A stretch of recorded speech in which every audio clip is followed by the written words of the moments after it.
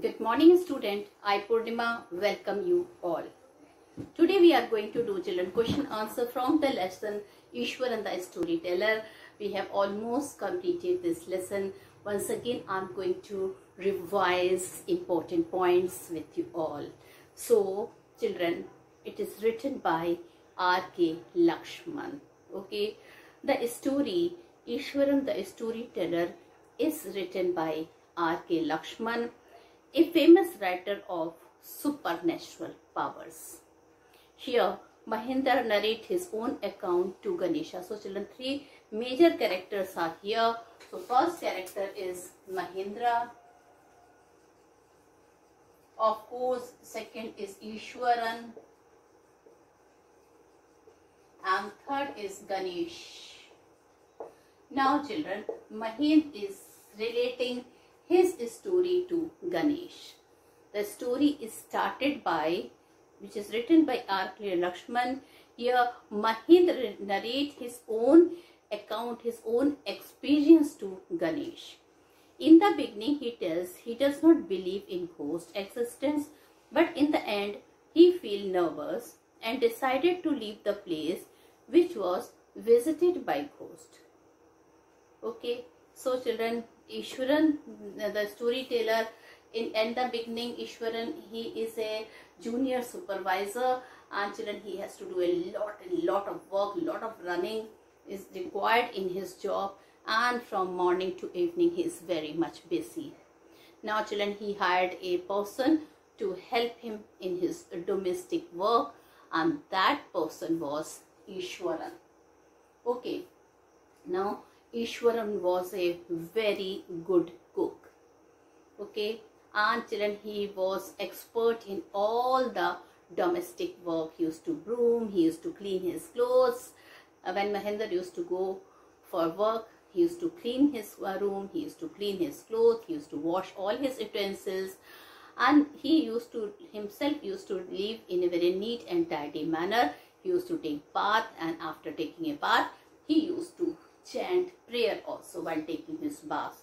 Okay, now after that he used to go for a nap, a short sleep in the afternoon and finally, finally children, when he goes to doze off, okay, what he does, he reads Tamil thrillers, a book of Tamil while resting. Now, let me tell you once again the important point of the lesson. So first of all, I will discuss with Mahinda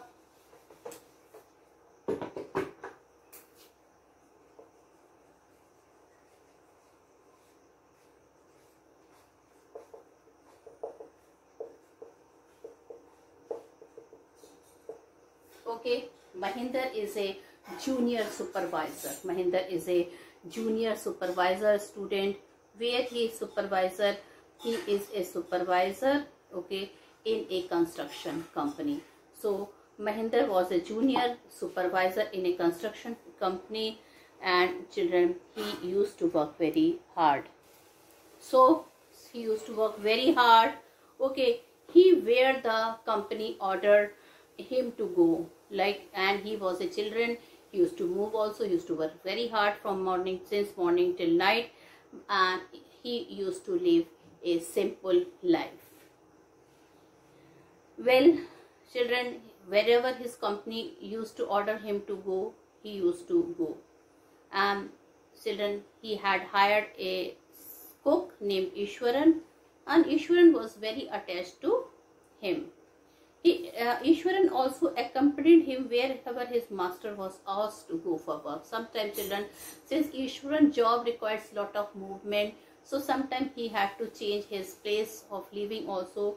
And Ishwaran was happy to accompany him. He never objected that he had to shift often. He was very much attached with his master Mahinda and he did not object him to go. Whenever he was uh, asked to go anywhere, Ishwaran happily used to accompany him.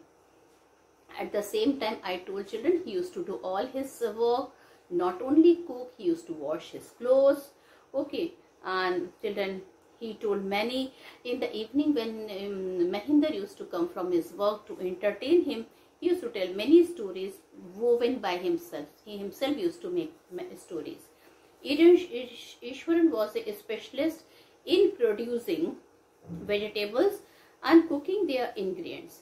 He prepared very tasty dishes with fresh vegetables. Now, description of Ishwara. Now, my second point is description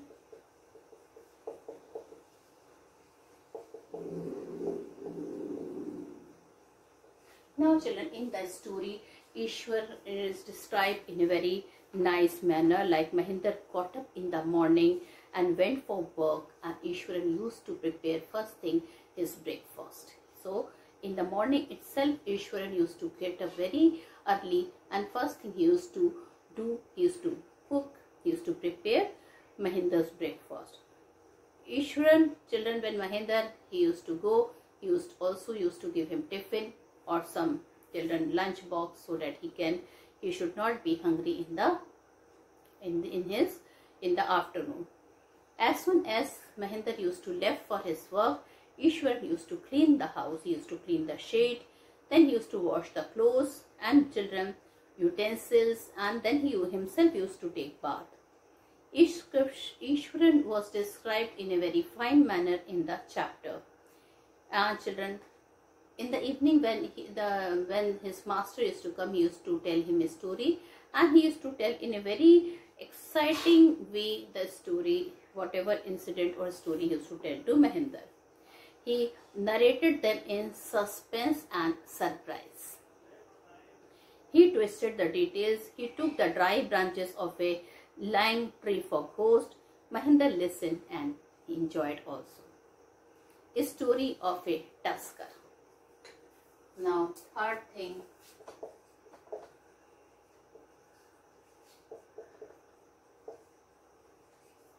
Okay, so a story of a tusker.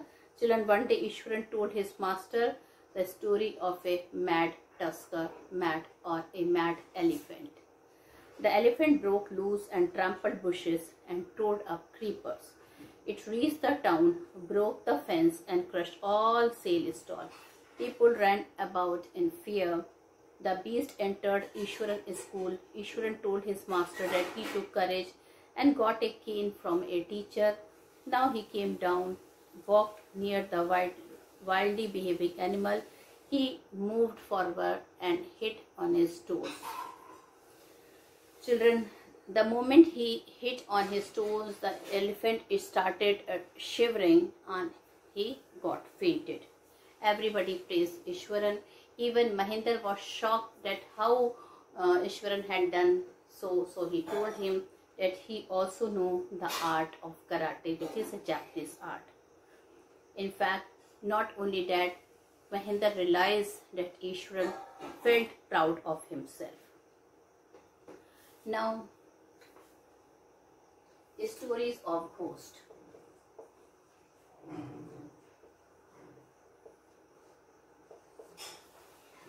Okay, so children, one day Ishwaran narrated Mahinder the story of ghost. Mahinder enjoyed but did not believe in ghost and early he was enjoying but later he also feeling scared and he told Mahinder in fact he scolded Mahinder that we should not believe in ghosts and he is not going to hear all his rubbish thing which he was telling him. Ishwaran told him once that the factory where they were working was built on burial ground. He had seen many human skulls lying on the path. He told further that he had seen a horrible ghost of a woman at full moon night in the midnight and it was like a, a skeleton with a fetus in his arms. Mahinder trembled, though called Ishwaran a crazy fellow. To him, it was a figmentation of imagination. So, children, when Mahinder heard all this thing, he told, No, ghosts are not there. It is simply your imagination. But he did not agree. He told, No, he had seen it and he is very much sure that those were human skull and the whole building where they are staying, whole uh, children place where they were living at that time was uh, there in the burial ground and children he told the story of that lady ghost in a very frightful manner. Even Mahinder started feeling scared. He was afraid. One full moon night, children, however, um, his mind was surrounded by fearful thought and children he could not use he did never look outside the window at night from his bedroom which he occasionally and usually used to do. To his one day children to his surprise he saw at midnight a white form moving on. He had a fetus in its hand. Mahinder was perturbed. Mahinder was disturbed he was really scared he heard a weeping sound also. He was frightened. However, he thought it might be a kind of trick. Next morning, Ishwaran came to him with a breakfast pack and a bag. He, remind, he reminded him of the appearance of the white woman form with the fetus and the wailing or the crying sound which he had heard in the night. Mahinder again felt chill. He again felt scared. He stood up held the breakfast packet and bag and ran to his office and told the office people that they are very soon going to leave from there. He had vowed that he would leave the place where ghosts, which is haunted by ghosts. So directly and indirectly it was Mahinder who also started believing in ghosts. Okay, so children this is the story and very soon children we are going to do the textual question answer and some important question answer. So first we are going to do the textual question answer. My first textual question answer is in what way is Ishwaran an asset to Mahinder? So now the question questionnaire session student I will be discussing each and every type of question with you and then you can note it down in your notebook. So Ishwaran was an asset to Mahinder as he followed him uncomplainingly. He cooked for him, washed his clothes, and chatted away with his master at in the evening or sometime at night. He could go on telling endless story on different subjects. He had the capacity to produce vegetables and cooking ingredients in the middle of the desolate landscape and prepare the most delicious dishes. Question number two. How does Ishwaran describe the uprooted tree on the highway? What effect does he want to create on his listener? Ishwaran could weave out endless story and anecdote on various subjects. Even in the smallest incident, he would create suspense and present in surprising ending or in a very surprised manner he would end. About the uprooted tree at the highway, he would say with his eyebrows arched and hands held out in a dramatic gesture. The road was deserted and he was all alone. So this was his method of telling. The people who will listen, even they will feel scared. So children, I should continue my answer. Like the road was deserted and he was all alone. Suddenly he saw something like an enormous bushy beast lying across the road, whom when he came closer, he found it was a fallen tree. So you can see how he had described a fallen tree in a such an exaggerated manner he had described. Thus he want to create suspense and surprise to his listener. So you can add this sentence in the last children. Thus he wants to create suspense and surprise to his listener. Now my question number three of your book. How does he narrate the story of the Tusker? Does it appear to be plausible? He narrated the story of the Tusker that escaped from the timber yard and began to roam about. He stamped on bushes, tore up the creepers and broke the branches at his will. He immediately got up in excitement and stamped his feet. So children, Ishwaran also when he used to tell the tale, he used to get up in excitement and he was also used to stamp his feet. Then the elephant roamed the outskirts of the town and smashed shops. People ran here and there in panic. He entered the school ground and the boys shut the door. Ishwaran grabbed a cane from a teacher and ran down. He kicked the, in its toenail. The elephant looked stunned and after shivering for a few seconds, it collapsed. This account does not seem plausible as if it is all an imaginary. So children, this is the answer of question number 3. Now we are coming to question number four. Why does the author say that Ishwaran seemed to more than make up for the absence of a TV in Mahindra's living quarters? Okay, so it was with Ishwaran to recount some story packed with adventure, horror and suspense. Mahinder enjoyed listening to it. The Ishwaran seemed to more than make up for the absence of a TV in Mahinder's living quarter. In the evening hours, Ishwaran would go narrating like a TV and thus he was making up the absence of a TV in Mahindra's quarter. Meanwhile, now question number 5. Now children, we are going to do question number 5. Okay. Ishwaran narrated about one horrible ghost of a woman which appears off and on at midnight during the full moon. It was an ugly creature like a skeleton holding a fetus in her arms Mahinder shivered at this description and viewed that there were no such thing. It is all a figmentation of his imagination on ghost or spirit. He was talking nonsense. Okay. Now, question number six. Can you think of some other ending for the story, children? You can, I'm also discussing this answer, but if you want, you can write some other answers about if you think it is up, but it should be an appropriate and correct answer.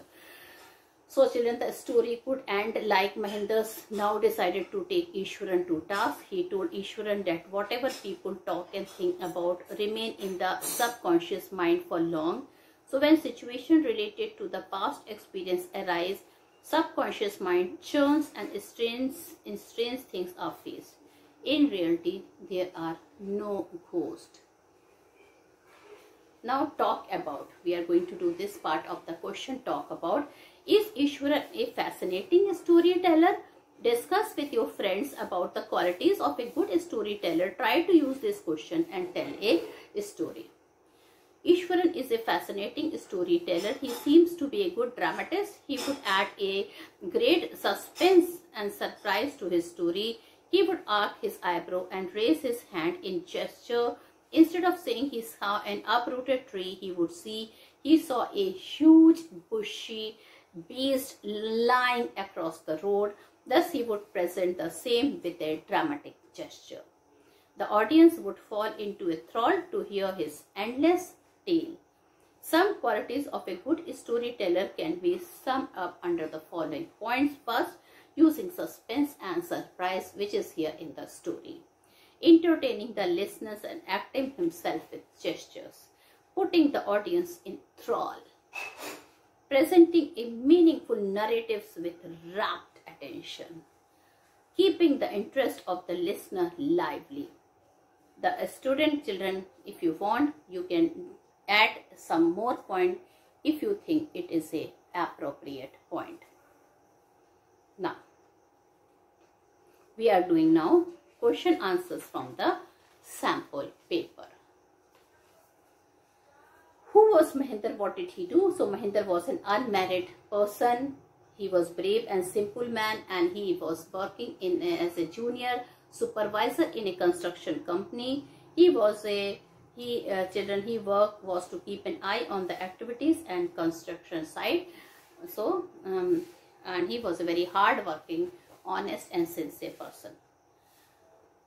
Describe Ishwaran amazing capacity to produce vegetable. Ishwaran had an amazing capacity to produce vegetables from nowhere. There were no shops for miles around. The place was barren, but Ishwaran would conjure up the most delicious dishes with fresh vegetables and cooking ingredients within, within an hour. How did Ishwaran manage to make even the simplest instant interesting? Give an example. Ishwaran seemed, Ishwaran seemed Children, Ishwaran seems to be a dramatist. he would add a great suspense of his story okay? And he would children make the story more interesting okay? He would make his story very much interesting. Now how we would make i'm going to describe. He would arc his eyebrows and raise his hands in gesture. Instead of saying he saw an uprooted sea he what he would say he saw huge bushy beast lying across the road. And this he did with dramatic gesture. Now question number four. Children this came in the board examination also in the CBSE how did Ishwaran describe the uprooted tree? Ishwaran had a strange way of narrating the story.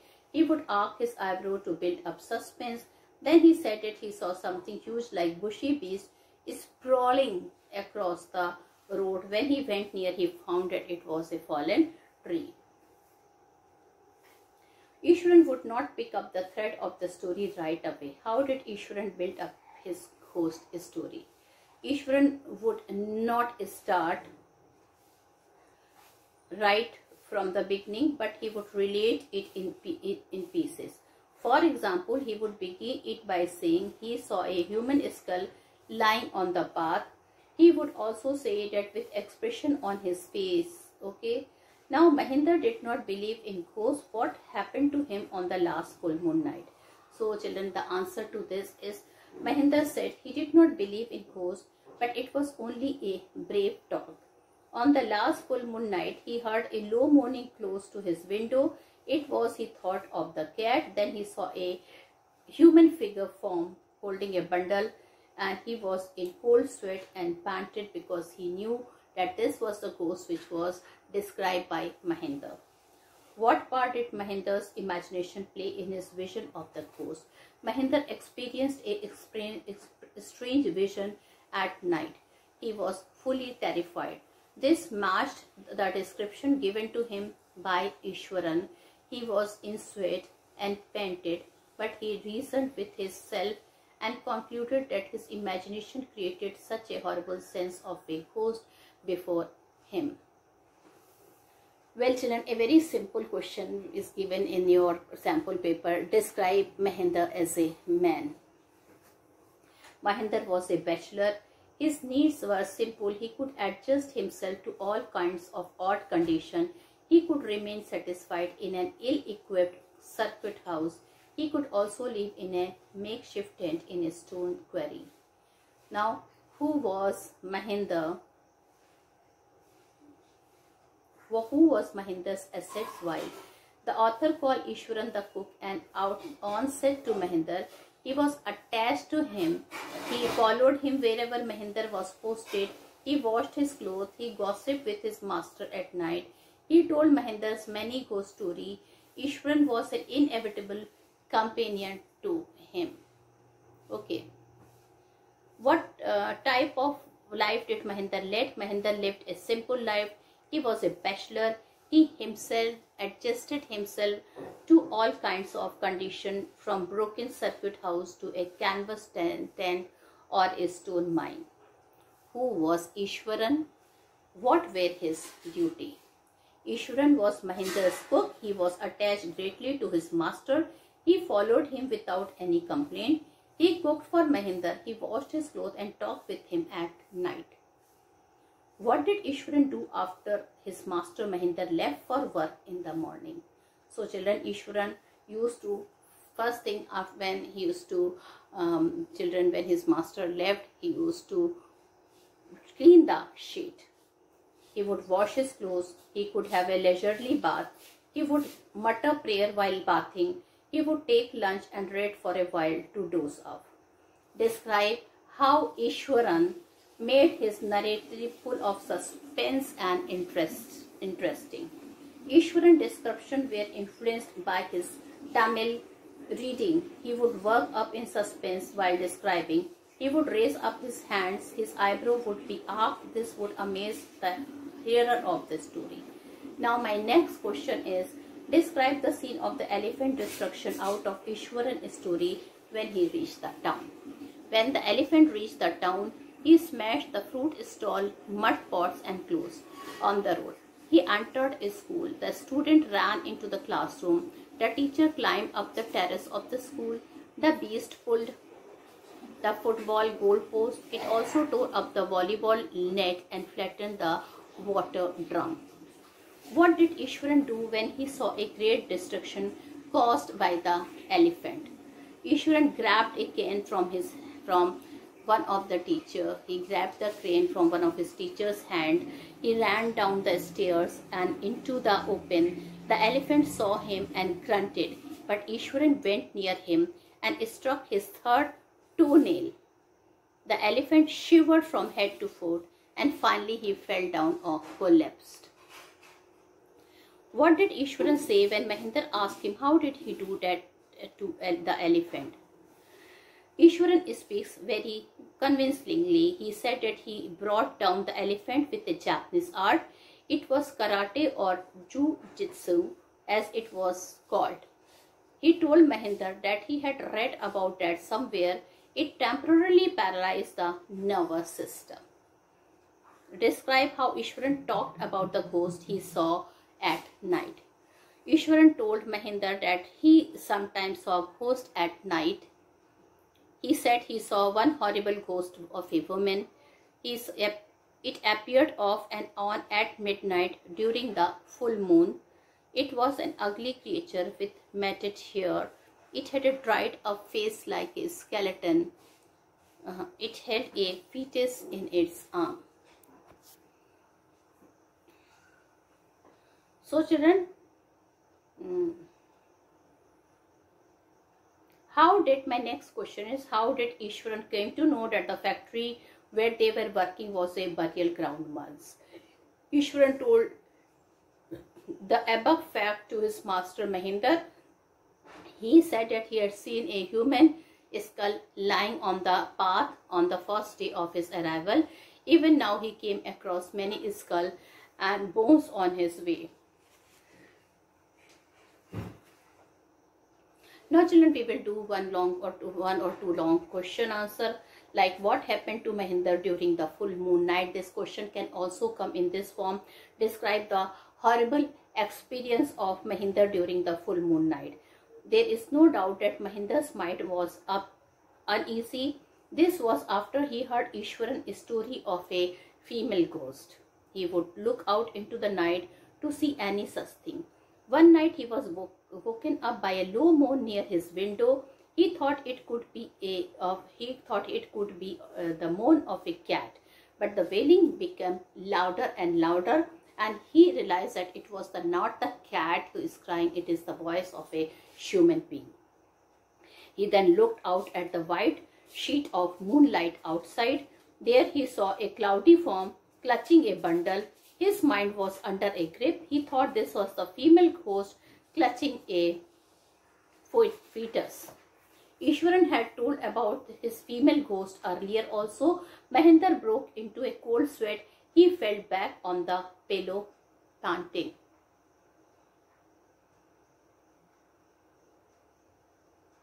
Now children, this also is an important question. What two amazing qualities did Ishwaran as a cook and storyteller have? Ishwaran was Mahinder's cook, but he was a wonderful and resourceful cook also. He could procure fresh vegetable even at place where no vegetable were in sight. He could make tasty dishes in no time. He was a wonderful storyteller also. Mm, he added horror, adventure and suspense. So all the three horror, adventure and suspense to his story to make them more interesting. He was so excited about the description that he would tell them with dramatic gesture and movements. Often he left the story without a logical end and told about it only when asked. Mahinder listened to his story with rapt attention and ignored the flaws. Ishwaran art of narration was influenced by the by Tamil thriller. So children, he was having a Mahinder, the cook, he really had is had an amazing quality.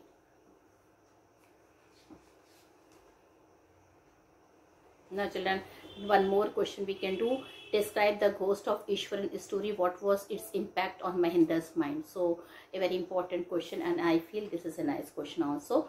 Ishwaran had unique way to introduce the story with a suspense. His grim tone his suitably expressive face and the dramatic gesture or gesture of hand and body help the story leave a long lasting impact on Mahendra